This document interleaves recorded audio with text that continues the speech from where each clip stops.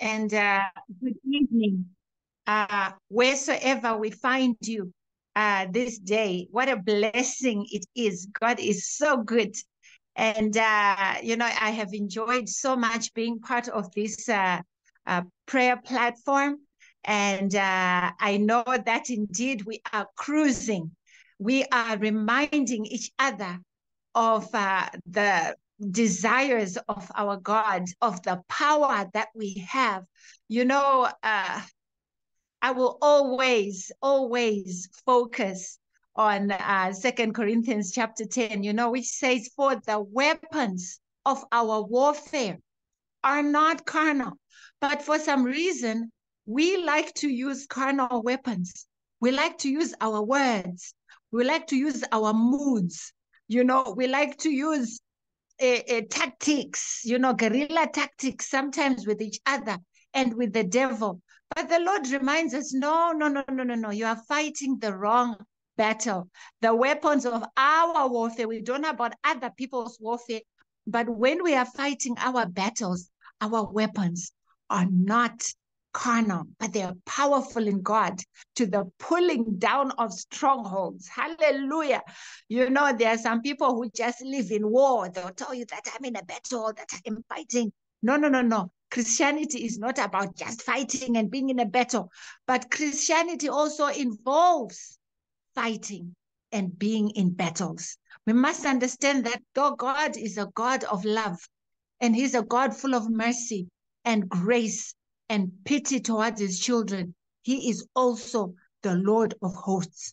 And so he has an army, and we are part of that army. So we must never forget, though we are enjoying the blessings of God every day, though you know uh, uh the angels are surrounding us, that we indeed are in battle. But when we are fighting, we are not fighting using physical weapons, but we are fighting spiritual battles and we are empowered by God. And we will cast down all strongholds, will cast down all imaginations, will cast down everything that exalts itself above everything that is uh, that is called God. And we will bring it into subjection. Hallelujah. You know sometimes we forget that we have authority. We have not exercised authority in our own lives and that's why it's hard for us to exercise authority anywhere else. And that's why even our prayers are weak and impoverished, full of kwashiorkor, because we forget huh, that we have the power. Today, we want to be talking about walk the talk. Uh, that's a common one, isn't it? Walk the talk. I want to talk about, excuse me, authority in our lives, especially authority over uh, our children, authority over our families, authority over ourselves. You know, sometimes the devil doesn't need to do much. He doesn't need to cast any, you know, any any any any spears or any swords against us. He doesn't.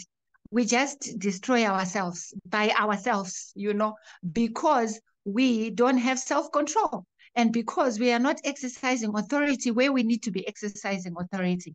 Now, I will refer you, I'm not going to read because it's quite a, you know, it's, it's, it's many verses, but I'll refer you to the book of First Samuel, chapter 20, eh, chapter 2, from 22 through to 25. We are talking about the sons of Eli. Now, we know that Eli and his children, right, had a, an interesting relationship. They were priests like priest uh, uh, like Eli was the high priest, but they were doing cantankerous things in the temple. Now we know that, and uh, the Bible uh, does not spare words. The Bible actually describes everything they were doing down to the T. What were they doing, these sons? It says they were the sons of Belial. Huh? It means imagine having priests in the church of God who are the sons of the devil. Hey, you know, to me, I find it like, wow, they would sleep with women at the temple. They would take more meat than they were supposed to. They would always want the best. They, you know, they were cantankerous. That's the word that I can say. And uh, the report came to Eli. And when the report came to Eli, he went and spoke to his sons. And he says, What are you doing? This is terrible. And the Bible reports that they did not hearken to the voice of their father. They didn't listen. They were like, Get lost. We're not listening to you, you know. And then Eli probably went away sorrowful. Huh? But what we know is at the end of the day, those sons, the same day that the sons died was the same day that Eli died. He was so shocked, you know, by the death of his sons who were with the ark of the covenant of God wherever it went. You will see that, oh, when, you know, when, when, when, when, when the ark was here and when the ark was there, it says, yes, Hophni and Phinehas, they were also there. They were in the presence of God, but they were cantankerous. Huh? But they had a father. Understand this. They had an authority above them. They were not the ultimate authority. The ultimate authority was Eli, the high priest. And uh, he did talk to them, and they didn't listen. And the Lord declared a curse on him, says, None of your children in your family are going to grow old. You know, they're all going to die young. And for you to know this sign, uh, you know, uh, uh, uh, uh Hophni and Phinehas would die on the same day. But what he didn't know is that he would also, you know, die on the same day as well. So what did Eli do wrong? Did he not go and talk to his sons? Did he not castigate them? Did he not correct them? Did he not show them their sins? Yes, he did. So why did the curse come? Ah, God speaks and he says, You honored your children above me. You put them in a higher on a higher plane than me. Why? Because you did only the minimum that you thought you could do. So that if I ask you to say, What is happening with your children now? You'll be like, Lord, I spoke to them, but they are not listening to me. I have tried my best. Huh? And how many of us do that? We correct our children. We speak to them. I don't think there are parents who just watch their children do, you know, uh, uh, uh, evil without talking to them. But what is the matter with just talking to them? The matter is you then failed to stop them. You failed to stamp your authority. You failed to say, this is not happening in this house. And even some wives, they are under great, great abuse. Why? Because they are married, you know, they want to be submissive. But when the husband is abusing them and abusing the children, They'll say, I prayed about it. I spoke to him. I even went for counseling. But you did not say no. You must get to the point where you exercise your authority and you say, this far, no further. It's not happening. No one is going to be beaten in this house. Huh? And there are husbands who are pulled by the nose by their wives. Huh?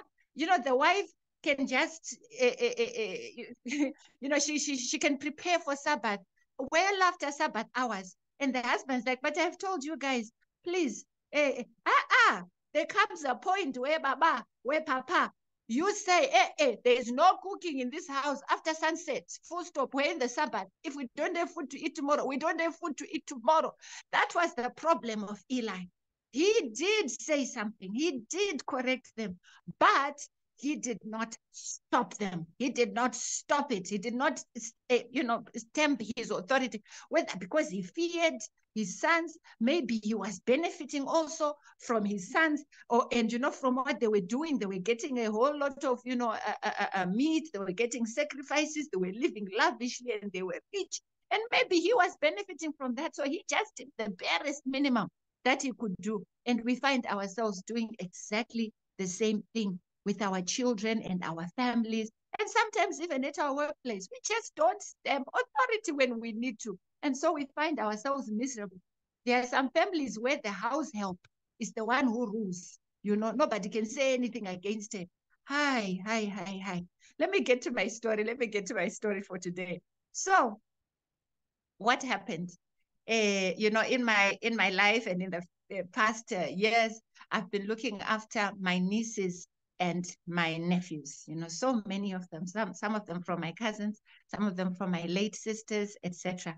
And um, what I remember observing was, uh, you know, would have family worship, of course, but uh, you know, I was subscribed like full bouquet DSTV, okay, and uh, we could access everything. And because there were so many of us already thinking, let's get that. Uh, I don't know if it was a television or if it was, you know, something that you could get where you could split screens and someone could be watching some, something over there and somebody else would be watching something over there. So, you know, we're thinking, how do we handle this? Because, you know, the television was in demand at home, you know, and by the way, we need to know that the television is an altar that we set up to the devil you know i will talk about that i hope you know before we finish but you know there and and, and the altar usually is in the center of the room isn't it it's where everyone can access it, you know, and see, you know, in a proper position.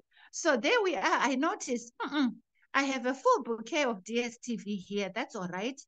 Uh, and I can afford it. You know, we're paying subscription for the whole year, etc. And the kids are enjoying, you know, those one Cartoon Network and watch Cartoon Network, those want Teletubbies, you know, those want, uh, uh, um, what's name, uh, uh, Disney, uh, those want the older channels, Mnet, blah blah blah, you know, movie movie magic, etc. I think that was what was there at that time. And uh, what happened is I started to observe something that people were so annoyed with each other because someone will have booked a movie at eight, then another person books a movie at nine. And if this person whose movie started at eight, you know, uh, the movie hadn't finished by nine, this one will be like, ah, I want to watch my movie. My, my movie is about to, watch, to, to start. And, you know, they had these countdowns, you know, and uh, people's hearts would be beating to say my movie is about to start. I also noticed that it was affecting our prayer, you know, our family prayers, you know, our family worship, because we tried to start early to accommodate those had their movies, uh, you know, where you know where they wanted to watch their movies. So we tried to start early, at least, you know. And uh, then what happened? uh, I noticed that while I was teaching, you know, I'm a mother, I am teaching, I mean well, I want the kids to learn, etc. But what was I seeing on their faces? It was, you know, eyes being rolled. It was like people looking at their watches to say, can you hurry up and finish? Make your point quickly because my movie is going to start. You know, can you please hurry up? You know, so I found myself under so much pressure, you know, to say, but I haven't finished my point. But I still need to talk to these children. I still need to teach them what they need to know. But they are no longer listening because they are checking the time. Their movie is about to start. Can you hurry up and finish? So then I said, then I said, here I am in competition with something that I do not have the tools to deal with. I am not equipped to deal with television. Huh? I am just a woman. I am just, a, you know, I speak slowly. I try to explain with my limited vocabulary, but the TV now, I can't compete with it. You know, it is uh, produced professionally. It comes with beautiful music. I don't have beautiful music. Eh? It comes with a lot of color. I don't have color. Huh? It is fast paced, you know, everything that it does, you know, the motion pictures. I am not a motion picture and I am not fast paced, you know. So now what do I do? How do I get to my children while I am being faced by this altar? How do I get to them? you know, how do I speak to them? This one is more colorful, it's more attractive than I will ever be, you know? And uh, so I said, well, you know what? We have to start at the beginning. Our topic today, by the way, walk the talk. Okay. I said, ah, I have to make a plan here because I'm in trouble. And these kids are growing. You know, I had kids from four years to about 17 years at that time. And at any given time, I'd have about six children in my home. And I said, uh-uh, I only have these children for a short period of time. And because of that, I have to maximize while I am here with them. And I do that with anyone who comes to my home. You come to my home, people always laugh. Like you go to Nyari's home, you end up being Adventist. These are relatives, you end up being Adventist. Why? Because I notice I have a short time with you. If you are here with me, for, for a month or two months or whatever, I have to maximize. So this is what I announced in the home. I said, okay, my dears, come. I have an announcement. It might not be popular, but it is it is what it is. So we are not going to waste money. I'm going to let the subscription for for this year, and I think there were about three months left or so. I said, I'm going to let the subscription, you know, uh, uh, uh, pass and expire. But after the subscriptions have expired, I am not a, a, a subscribing. I'm not renewing the subscription, you know. Ah, there was a funeral in the home. Yo, there was depression. People went moody. They tried all kinds of tricks, you know. Uh, some of them were very nice, breakfast in bed to say, no, mommy, do, please don't do that.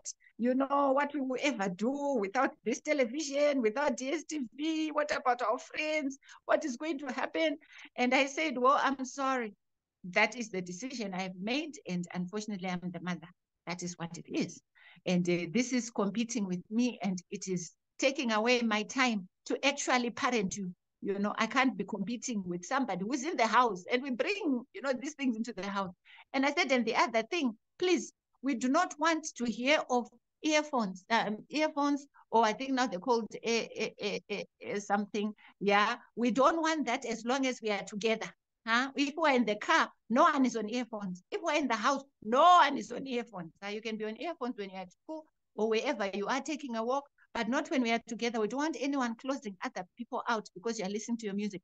And I don't know who is accessing you outside of me. Ah, is somebody there with me? So when the radio is playing in the home or the or you know it, it, you've got public entertainment in the home, everyone can see what everyone is watching. Huh? But when somebody's there on their little phone, they're on their little iPad, they're on their little gadget, we cannot see what you are watching and you also have your earphones. No, that is not happening, not in this house. Huh? We are going to talk to each other. If we have no stories, then let's be quiet and look at each other. Huh? And so, you know, that was what I said. Now, you know what is interesting is, uh, yes, we did not uh, subscribe. Actually, we didn't subscribe ever again. What we said is no, it's not like we are saying there's no entertainment in the home, but what we are going to do, huh? what we are going to do is we are going to when we when we travel say outside the country so that we're going to buy common movies that everyone can watch family movies we're going to get uh, music you know i think we got a lot of Gaither and everything and that is all that was playing there was a spirit a sweet sweet spirit in the home it was amazing our prayer uh, family prayer uh, time it was beautiful nobody was worried people would talk stories, you know, they would ask questions. Everyone was relaxed. And we were like, ah, guys, we're tired now of being in this family. Let's pray and let's go to bed. You know, and now all those children, except two, I only have two who are at home now, who are now in college. All of them have gone. Ultimately, I had about 10 children. They are all overseas. You know, I've got doctors, I've got, you know, uh, what, what you call it, chartered accountants, I've got actuaries. I've, but what was important to me was more than educating the children, you know, what was important for me was to educate them spiritually. And now wherever they are, I check on them, how was Sabbath? You know, you don't say, did you go to church? You say, how was Sabbath, you know, in Holland? And somebody sends picture, says, oh, Sabbath was great. Why I was able to get back their attention, take back my authority as a parent, uh, and say, this shall be done, this shall not be done. But I just didn't stop by saying, you guys are watching too much TV. You guys, this, this, you know, parents will mourn and cry sometimes as if we are victims. I said, no, no, no, no TV in the house. Huh? No, no, no, no, no, no. Now everybody can watch TV because they are older. You, you, you understand. But I can tell you that the television and the living room are the loneliest places, you know, in my house because people just don't have an interest anymore. They are now looking for things that can benefit them, but you teach your children that. Um, and um, there are things that we allow our children to do. There are things that we allow. Sometimes, you know, anybody who's been put authority over in the home, you will see that people like to stay out late. Huh? People like to lock doors and be in their bedrooms, you know, and like their bedroom is their special space. I said, no, that bedroom is in my house. And so I will have access to your bedroom anytime. Uh, you understand? I said, walk the talk. You stamp your authority. You say, kids don't like to come and greet visitors. You know, visitors come. It's like, it's your relatives. It's your friends. So I don't have to come and greet them. No, no, no, no, no. In this house, that is not happening kids having a choice of whether or not to go to church. How? It, Lord have mercy. Or they'll say, How? Today? Well, or they wake up late. Ah, ah, you, my friend, you are going to wake up. I'll wake you up myself. Go and get ready so that we are in time for Sabbath school. Huh? Kids eh, eh, eh, don't have chores at home. They don't have duties at home. Huh? So I said, ah, ah, I don't want anything that slips in the sink. You know, if you have eaten, you follow that up. Go and clean yourself. Go, go and clean after yourself. And if they don't do that, and I wake up at 3 a.m., friends, I will go and wake people up, go to the kitchen. I think the sink is something at 3 a.m. Next time they know I don't go to bed without cleaning. Huh? Uh, uh, just uh, learning to wake up early. Huh? And giving them, you know, what do you call it, worship duties to say you are the one who's in charge of worship today and you take turns. And you see that when somebody is on duty, they get excited, you know, they prepare, they are more into it because you are involving them. We need to take back the authority in our homes. We need to walk the talk. Sometimes the problem is with prodigal parents.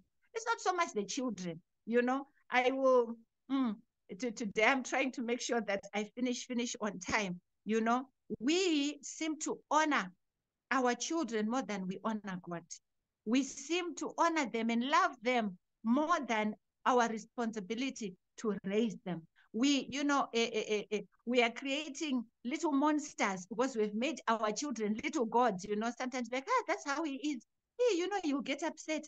Oh, you know, you get moody. Ah, ah, it does not matter. You are the parent. You are the authority in the home. And you are doing them a favor because Hophni and Phinehas would not have died if their father had stopped them and said, no, no, no, no, no, no.